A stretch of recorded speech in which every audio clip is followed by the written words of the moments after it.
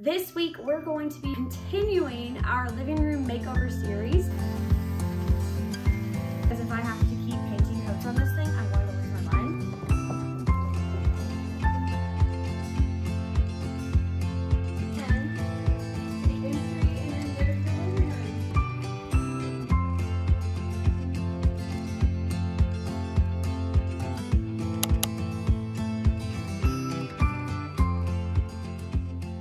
Hey, welcome back to the channel. This week we're going to be continuing our living room makeover series by doing some prep work projects. If you've not seen the first episode of this series, go back and watch it first. That's where we did all of our planning and our designing and kind of created our entire project plan for this whole series.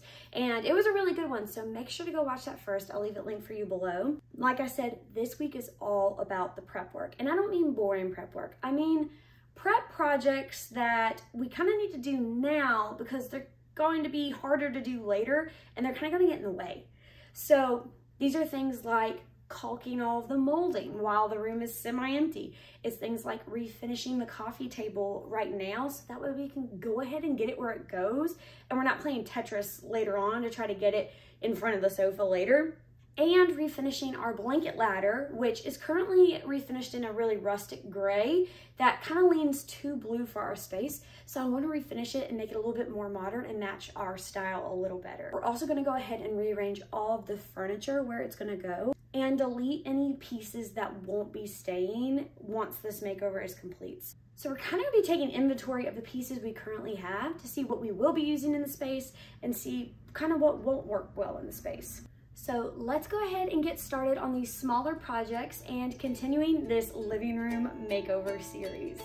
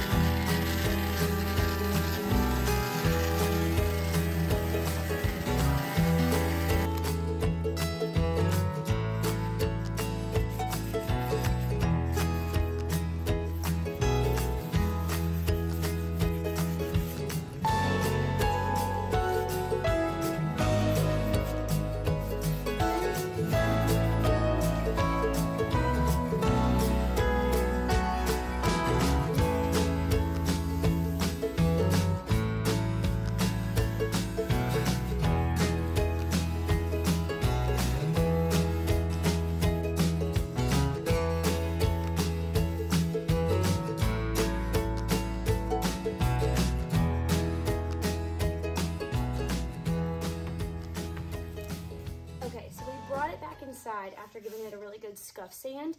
We definitely got rid of the gouges that Rambo had left, but we brought it back inside because we're supposed to actually get some rain tonight. It kind of looks gloomy out.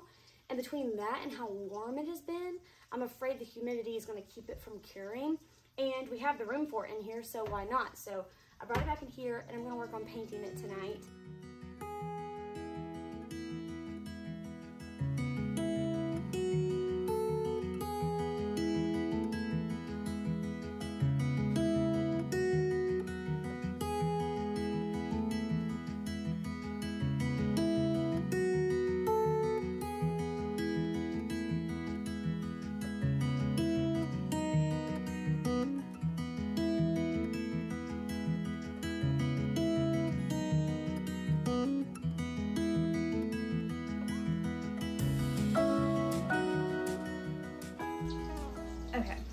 Thing took no less than six coats of paint. And I knew that this paint always takes a lot of coats, but especially considering a lot of this, I wasn't able to scuff sand super, super well. And then also just the amount of curves and nooks and crannies on this thing. And I've kind of come to the place where I can live with it. And if, as we're living with it, I notice a spot that I need to touch up that I missed, I'll hit it then. I'll just touch it up later. Um, because if I have to keep painting coats on this thing, I'm going to lose my mind. So, it is time to add the sealant to the top. And originally I was gonna do a poly because I kind of wanted to fill in these gaps here. The design of the top of the coffee table, but we've lived with it for years now. And honestly, I'm a little concerned with poly just because if you don't get it on right, if you have any kind of brush marks, air bubbles, anything like that, it can look really, really bad. And so instead, I think what I'm gonna do is do my trusty finishing wax and this will give it a good finish on the top of it. And if I need to touch it up later, I can add more wax. But in general, I've had really good success with this, especially for projects for like myself or that we use around the house. Uh, I used this on our dresser upstairs, and that was one of my first furniture flips. And that dresser gets some use. It gets some wear and tear every day. And so I think that this will hold up pretty well for this.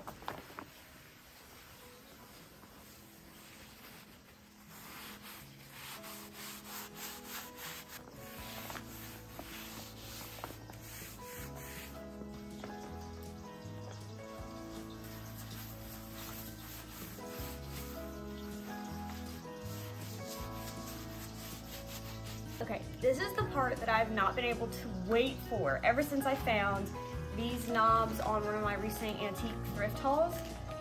I knew that they would be perfect for this table.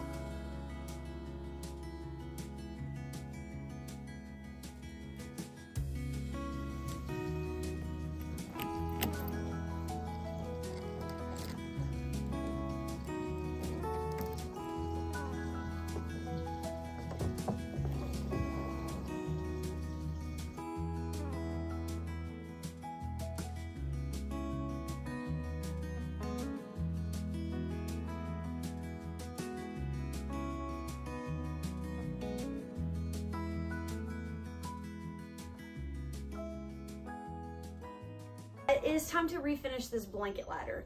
Like I said before, it's just too gray. It almost has like a blue tone to it and it just doesn't match our space now and it's definitely not gonna match our new living room. My original idea for it was to do like a two-tone dipped blanket ladder effect, but after I kind of came over here just to see what it would be like to sand a little section down to the wood to potentially either leave it raw or to stain it, I just don't think this wood is high quality enough. And I think that it would take entirely too much of my effort to sand it down to that raw wood. And even then, I'm not sure I'd be happy with the result. And it's just gonna have blankets on it. So I don't think I'm gonna waste my time and energy on that when I'll be just as happy with it just painted solid black. So that's what we're gonna do. We're just gonna go ahead and give it a first coat on this side and we'll come back and flip it later by the way, this is the gorgeous antique dresser that I've had just sitting out here. Um, I don't know why all of a sudden it wound up being like a storage unit, but this is what I'm going to be fixing up to put on the back wall in the living room with like a really beautiful mirror on the top and like a lamp. It's just, it's going to be stunning. Look at the feet on it. Ugh, obsessed with this and I cannot wait to actually have it looking good inside the house.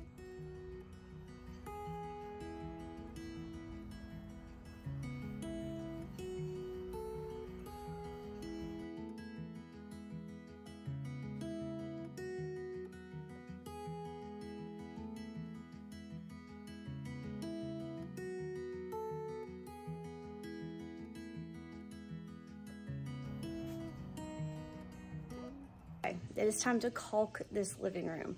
This is by far the largest caulking project that I have taken on yet. I've only done the entryway, which was a single wall. I did our upstairs hallway, which was very, very small.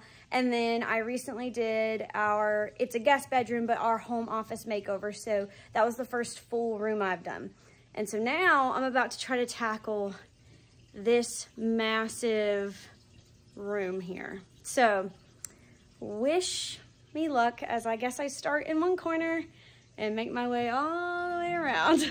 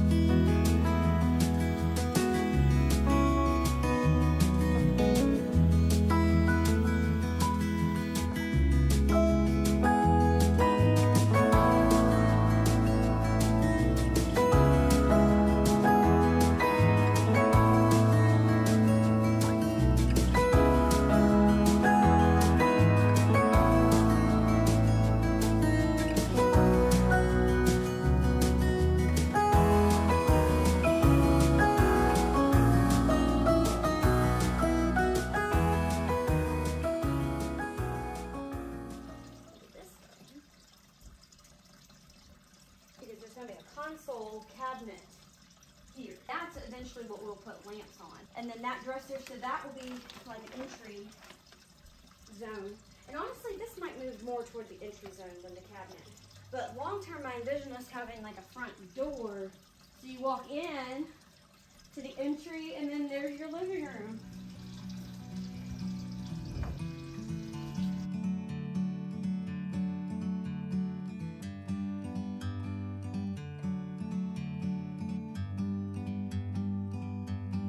Bird on a tree. I'm just sitting here. I got time, it's clear to see. From up here, the world seems small. We can sit together. So beautiful,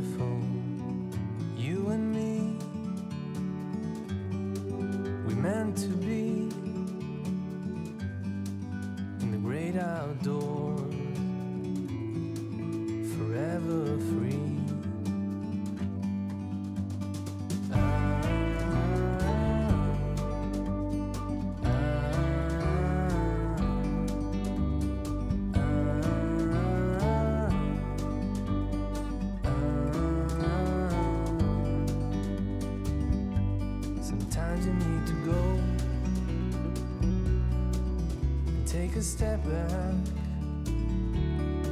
to see the truth around you. From a distance, you can tell.